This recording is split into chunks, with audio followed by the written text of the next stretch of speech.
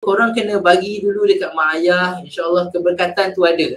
Keberkatan ni susah kita nak explain dalam bentuk words tapi kalau korang lalui ataupun korang rasa mungkin korang boleh nampak lah eh, keberkatan tu. Jangan risau pasal duit. Saya faham mungkin korang takut rugi. Eh, dah lah tadi aku pakai sendiri, foto kedua aku nak bagi orang lagi. Bila aku nak untung? Ha? Jangan risau.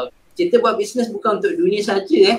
Ah, tu peringatan untuk saya. Bisnes bukan untuk dunia sahaja kita buat bisnes untuk bekalan kita juga ke akhirat. Daripada bisnes ni kita sebenarnya secara tak langsung kita membantu kawan-kawan kita, membantu family kita, membantu adik-beradik kita untuk diorang mungkin untuk sihat, mungkin untuk tambah kewangan dia. Dulu dia ada hutang, lepas dia buat bisnes dengan kita, dia dah tak ada hutang. So itu adalah uh, rezeki-rezeki yang akan datang bila korang buat bisnes dengan ikhlas. If you believe you can move the highest mountains, cross the greatest oceans, and walk across the water